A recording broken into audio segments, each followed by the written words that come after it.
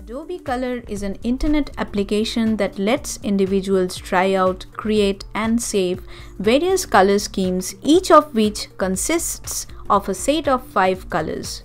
Users can export a color scheme straight into Adobe Photoshop, Adobe Illustrator, and Adobe InDesign and sync to Adobe Color service.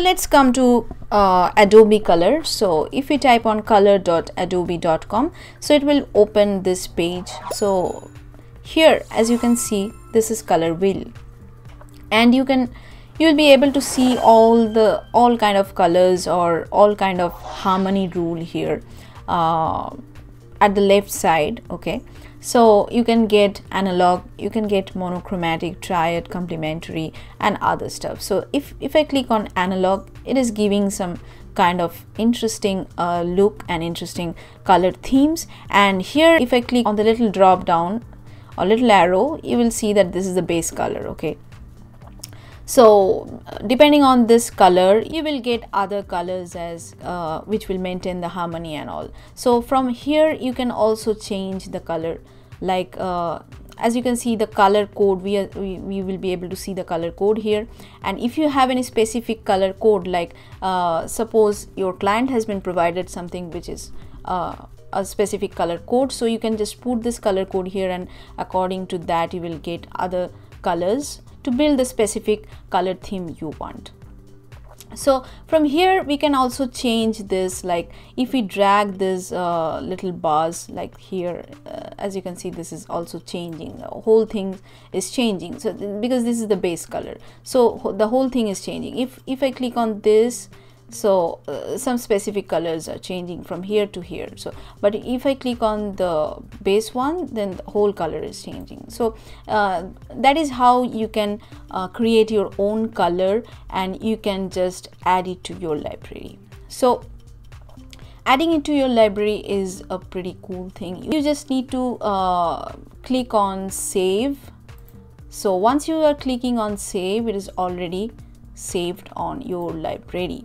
So how to check that? If i go to libraries and here as you can see my library. So if i click on that here i will get all the color themes i have downloaded and i have added so far. So here you can create your own library and you can download or like use it for your own artwork according to your choice. And this is a very cool uh, i think this is a very cool website. This is a very cool thing adobe has done for all the designers and all the artists worldwide because this is actually very very useful. So if i click on explore here you'll be able to see all kind of you know like uh, interesting artwork with their specific color themes so just take my pointer here. You will be able to see this is add to library. So I can directly add this to my library uh, if I click on here. So theme successfully added to my library. So if I go to my library now it has already been added. So from here you also get different kind of like I am I'm liking this theme also. A very nice combination. So I'm adding this to my library as well. So um, and if you click on trends you will get all the trendy uh, you know like themes which is actually uh, popular now. And if you click on view more you will get more like this.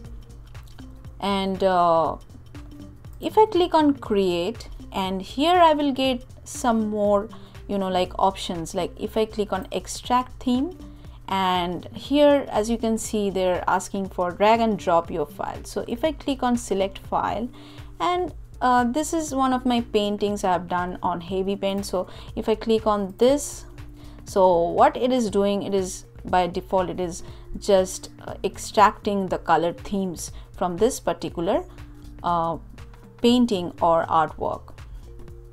And another cool feature is if you go to the left side uh, here you will also get different kind of thing like here the colorful is selected. So if if i click on bright it will give all the bright colors included in this specific painting. If i click on muted it will give all the muted colors.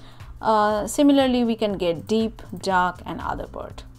So this is a very cool feature and you can directly uh, you know like add all kind of you know like themes to your to your library. And you can also download them as jpeg.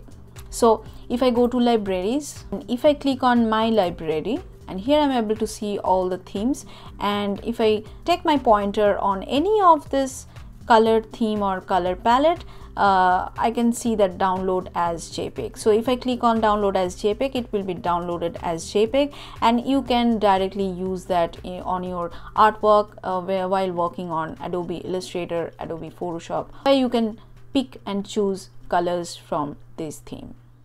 So that's it for today guys. I hope you have liked and enjoyed this video and if you have enjoyed this video, please comment in the comment section like what you think about this particular tutorial and if you have any better suggestion for this kind of things, you can also suggest me that on the comment section. Also check my other tutorials of Photoshop, Illustrator and other design tools to learn it the easiest way. So be happy, be awesome, be positive and be creative.